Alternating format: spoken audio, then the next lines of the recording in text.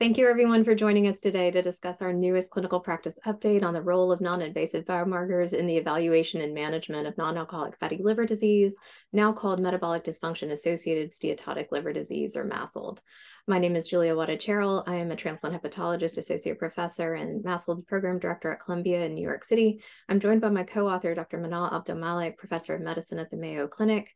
Our other co-authors are Dr. Joseph Lim, of Yale University and Dr. Arun Sanyal from the Virginia Commonwealth University. Dr. Abdelmalek, how pressing is this issue of beginning to standardize the way we use non-invasive biomarkers in MASLD? Yeah, so MASLD, or what we formerly knew as NAFLD, uh, is highly prevalent, affects nearly 25% of the global population. So clearly, our providers and clinicians need simple, uh, non invasive biomarkers and care pathways uh, by which to readily uh, triage patients with advanced hepatic fibrosis or clinically significant MASLD. Dr. Wattacheril, where would you recommend busy clinicians even start off?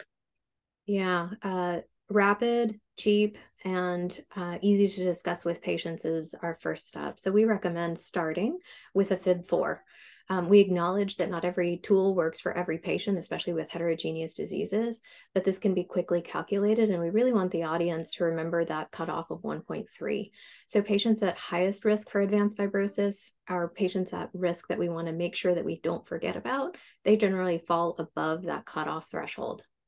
Dr. Abdelmalek, individuals are not always served by these rapid cutoffs that we choose. So how do we pick up on people that might not be served by a quick screen like FIB4?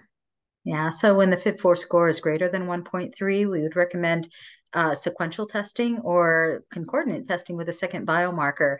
So an ELF score of less than 7.7 or a VCTE score of less than 8 or an MR elastography less than 2.6, depending on what resources uh, physicians have accessible to them, can increase our confidence uh, with a very high negative predictive uh, value of the absence of significant liver disease.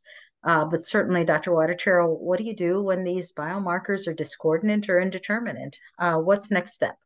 Yeah, that's an opportunity to, to clarify or resolve some of that discordance with either a liver biopsy or expert consultation.